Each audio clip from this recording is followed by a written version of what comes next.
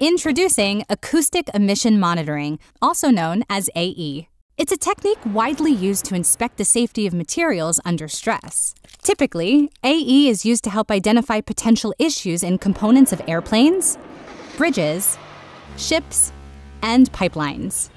But did you know it can also be used as a valuable preventive conservation tool? It monitors changes in cultural heritage objects caused by external or environmental factors. Its sensitivity allows collections professionals to detect microcracking inside objects, even when they're invisible to the naked eye. This gives us the means to precisely identify environmental events, such as variations in temperature and relative humidity, that may lead to damage. Now let's take a closer look at how AE works.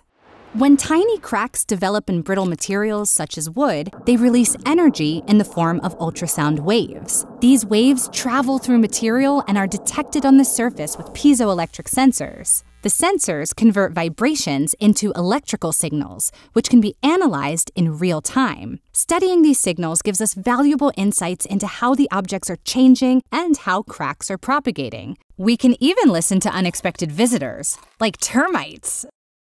Using a mesh of sensors and triangulation techniques works great to locate the crack position in simple objects like the pipelines we mentioned earlier. But what about the complex objects collections professionals are used to caring for? Take wood, for example. It presents difficulties due to variations in its properties, such as species and wood grain direction. These variations can attenuate and dampen AE signals traveling through wood, which makes it difficult to accurately capture the signals.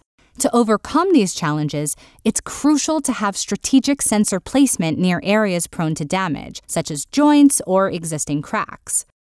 But there's another obstacle we must deal with the ultimate gallery party pooper noise.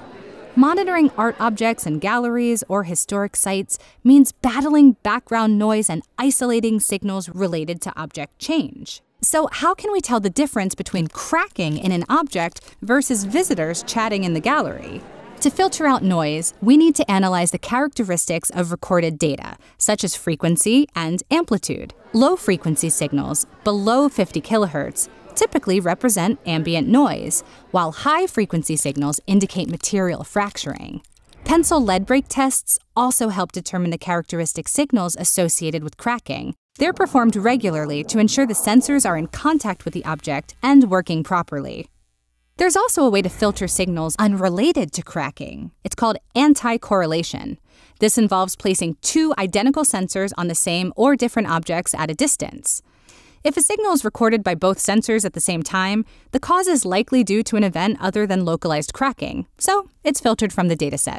We also gain valuable information from monitoring the space around objects with cameras. When we compare visual observations with moments when the sensors go wild, we see causes of recorded noise and improve the data collected by the AE system.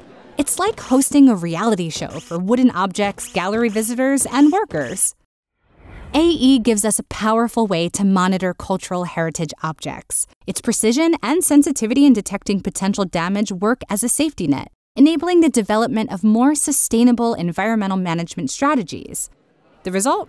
Greater access to objects here and now, all while preserving our cultural heritage for generations to come.